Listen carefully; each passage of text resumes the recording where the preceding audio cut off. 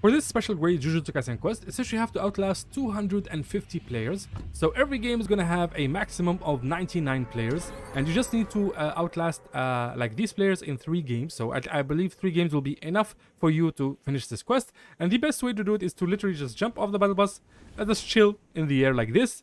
This is literally the best way to do it. And then you simply wait for the first zone to appear. The zone, the first zone appears in one minute. And once it appears, all you have to do is just go to that zone. So there's three possible zones. There's the Mega City zone, which is all of this right here.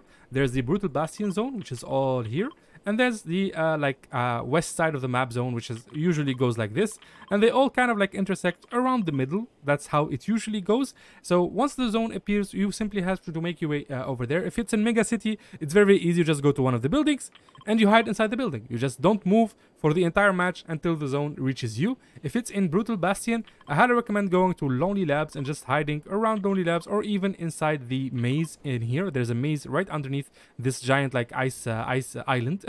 and if it's right over here, then your uh, your choice is the ruins. The ruins are uh, kind of highly contested, but it's very easy to hide in them, especially if you go to this ruin right here.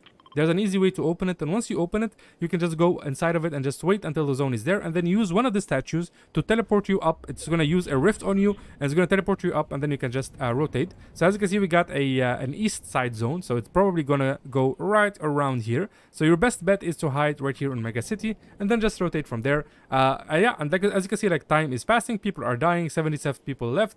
Uh, and you can just do this over and over. You need at least three games to do it. Just uh, survive, outlast 200 250 players in total, and that should complete the quest.